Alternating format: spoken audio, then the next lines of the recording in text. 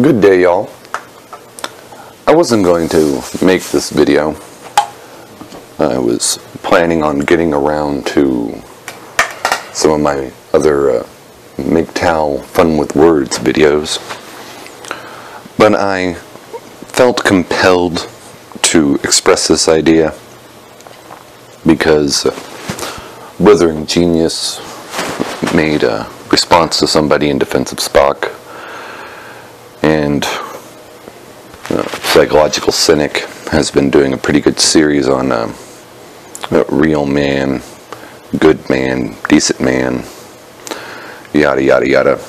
And both these gentlemen have good thoughts. I would say that uh, the PUAs don't have it completely right. In fact, they have a lot of it wrong. The traditionalists don't have it completely right either. Neither do they have it completely wrong. The thinkers, the logical people, don't have it completely right. They don't have it completely wrong. The feminists, of course, don't really know what they want. And some of the other people who have been commenting on this. There's an interesting uh, group of people who seem to want to focus on emotion. All thoughts and feelings stem from uh, neuronal pathways or neural pathways that uh, get stimulated over time. It's called long-term potentiation. In the military, they call it muscle memory. In martial arts, they train reflexes. You do something over and over and over again until you do it quite naturally. It, it becomes reflex. It becomes muscle memory. Even musicians know this. If you can't play a song drunk, you shouldn't be playing it at all. And so when you practice controlling your actions, uh, and words are actions, speaking them, writing them, mm, there are those in the Dark Enlightenment that use rhetoric.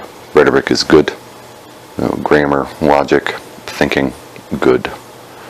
And there's those in this uh, blithering genius comment section that want to base all you know, reason and logic from feeling. These are all things that stem in the brain. And everyone is missing the real point here about what humanity, men and women, view a real man as. What inspired me to issue this unexpected rant, and this is a rant, it's off the top of my head, so I am wondering a bit. What inspired me to issue this was a particularly insightful comment on Blithering Genius's comment thread. A creature that is so concerned with appearance and illusion, of course, would love illusion the most. And then that inspired an image. If you ever want to know what men and women, what humanity views currently as a real man, this is a real man. Brock Sampson. He has all the qualities that most human beings, if not all human beings around the world, would identify as masculine qualities.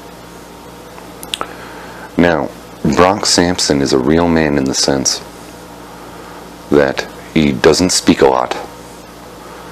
When he does speak, it's usually a, directive, an order. It is usually to an end. And it usually uh, is very terse. Brock Sampson is a real man. And this is where the PUAs have it wrong. That will have sex with any woman. He doesn't have standards. The only standard for Brock Sampson is is she a woman? Brock Sampson has been known to have sex with 50 year old Tijuana prostitutes. Brock Sampson has been known to have sex with women who literally needed to have bags put over their heads. Brock Sampson will just fuck any woman when he wants to have sex with any woman. He practically uh, borders on date rape every time. Uh, he exudes a sort of animal magnetism that all women uh, want and fear. It is as if he can have sex with any one of them, either because they desire him, or either because they're so afraid that he will kill them that they submit.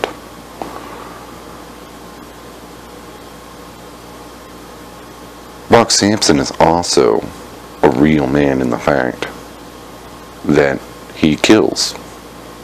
You get in the way of his objective, you offend him, he kills you. He doesn't beat you up, he kills you. Brock Sampson is a real man in the sense that he serves his country. He serves an ideal, he doesn't serve a woman.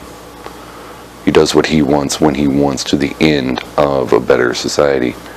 Brock Sampson is a real man in the sense that he has a buddy, has a best friend. Brock Sampson is a real man in the sense that he seems to have um, no vices, but he also does what he wants when he wants, how he wants to. He is extremely capable and well trained, quick on the uptake. Brock Sampson is a real man. Where the PUAs have it wrong is that a real man doesn't have any standards. Where the traditionalists have it wrong is that a real man doesn't get married and have kids. Where the intellectuals, the logical people get it wrong is that uh, a real man doesn't philosophize. He doesn't really think about higher ideals. He just ascribes to one, his nation, and he sticks to it. He trusts that the orders he is given are just or serve a higher purpose. Where the feminists have it wrong is that a, a real man may actually border on date rape. Where even these emotional people, these people who are arguing from emotional state, have it wrong. Is that a real man is a contradiction of controlled impulse. He knows when to let out an unreasonable amount of emotion and he knows when to not let out any at all. Now I picked Brock Sampson because he is an illusion. He is a cartoon character, caricature of what every human being, man and woman around the world, would consider to be a real man. A uber alpha male, a super alpha male, a, a primatologically based alpha male. It's not real.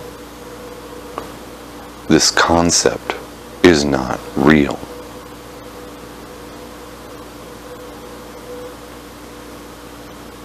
I'm going to let that sink in there for a second.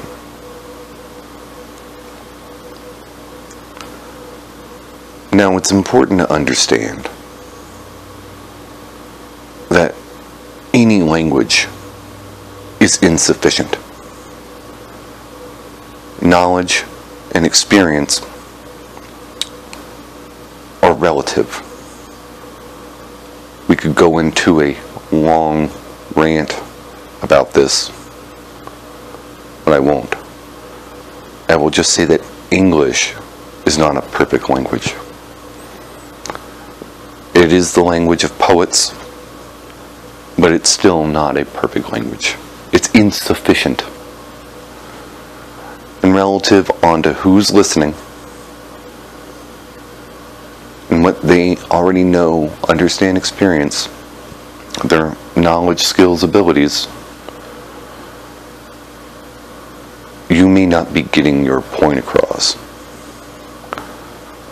So, to everyone who wants to fuss about this idea of a real man, well, here it is. And it's an illusion. Yours truly, M.